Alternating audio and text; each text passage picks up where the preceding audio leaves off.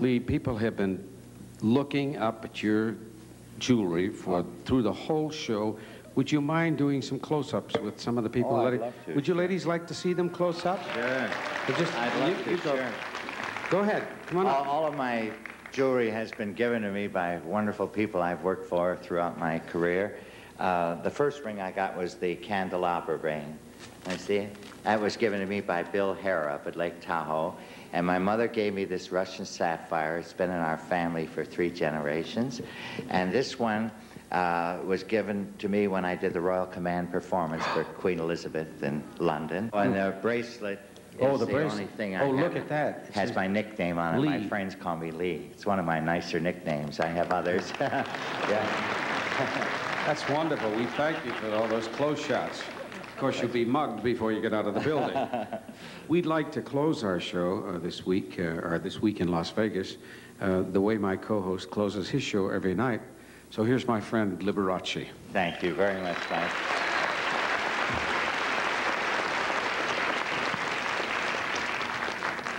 May I say this really was an exciting show to be on, and I think it's one of the best shows I've ever done with Mike. Really.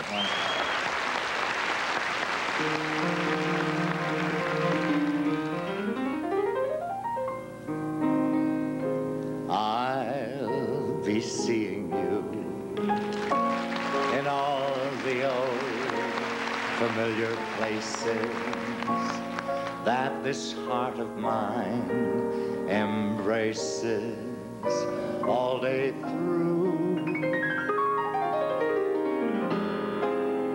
In that small cafe, the park across the way,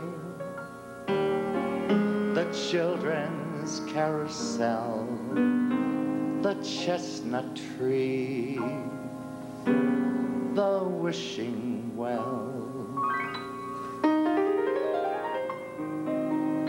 I'll be seeing you in every lovely summer's day, in everything that's warm and gay. I'll always think of you that way. In the morning sun, and when the night is new, I'll be looking at the moon, but I'll be seeing